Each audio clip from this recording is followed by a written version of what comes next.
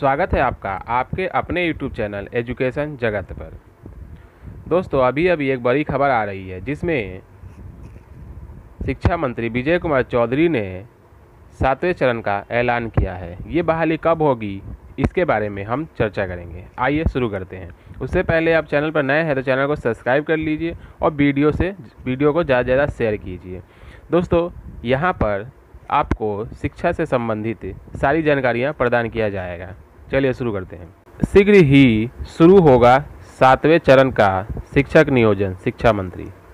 शीघ्र ही शुरू होगा सातवें चरण का शिक्षक नियोजन, शिक्षा मंत्री। यानी ये आप हेडलाइन देख सकते हैं, जो आज के अखबार में छपा हुआ है, जिसमें ये शिक्षा मंत्री ने ये कहा है कि सातवें चरण की बहाली शीघ्र ही शुरू हो जाएगा, यानी बहुत ही जल्दी। आइए हम पूरी खबर जान लेते हैं। ये आप देख सकते हैं। जागरण के संवाददाता हैं बिहार शरीफ के। उनसे बातचीत हुई है, जिसमें शिक्षा मंत्री ने ये सब कहा है।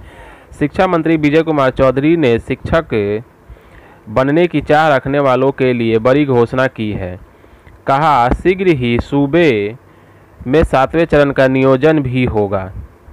जिन जिन लोगों ने शिक्षक पद के लिए आवेदन किए हैं और बेहतर अंक होने के बावजूद उनका इस चरण में चयन नहीं हो सका उन्हें अगली नियोजन प्रक्रिया में प्राथमिकता दी जाएगी। उन्होंने बताया कि तमाम जिलों में ऐसे शिक्षकों की रिक्तियाँ मांगी गई है, जहाँ भी रिक्तियाँ रहेगी, वहाँ सातवें चरण का नियोजन किया जाएगा।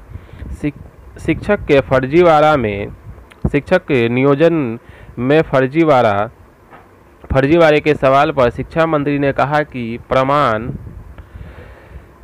कहा कि प्रमाण पत्र के साथ शिकायत करें।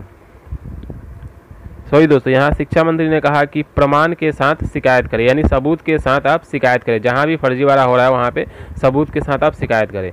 तत्काल कार्यवाही होगी।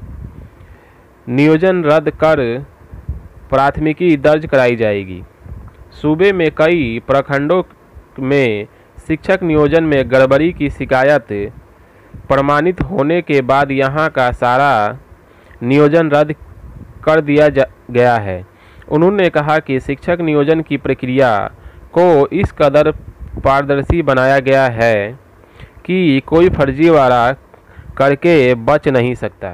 आप देख सकते हैं, शिक्षा मंत्री ने साफ़ कहा है कि जो इस नियोजन में बच जाएगा, उसको सातवें चरण में प्राथमिकता दी जाएगी और सातवें चरण की बहाली जल्द से जल्द किया जाएगा। इसलिए दोस्तों, आप निश्चित रहे और ये भी कहा गया है कि जो छठे चरण में जो फर्जीवाड़ा हुआ है नियोजन में, वो उनको बिल्कुल भी बख्शा नहीं जाएगा। जितने भी फर्जी शिक्षक जिन्होंने फर्जी नियोजन करवाया है, उन सबको पकड़कर उन पर कार्यवाही की जा, किया जाएगा। इसलिए आप निश्चित रहे। दोस्तों, चैनल पर नए हैं, चैनल को सब्सक्राइब